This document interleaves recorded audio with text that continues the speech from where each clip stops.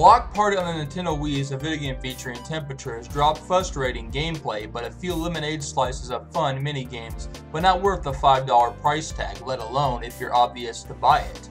It has a surge to have a cool hit music tune that reminds of you being a kid, then when you did have video games and a mandatory microarchable mindset of having a creative throwing static mind.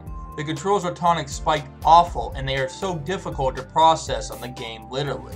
But some minigames make it an easy turning ketone blast and it's worth playing it for 30 minutes and that's it. Some cozy minigames, some registered characters to choose from.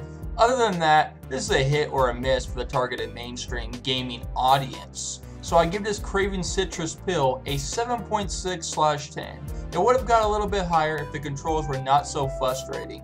Love the Burrito Master.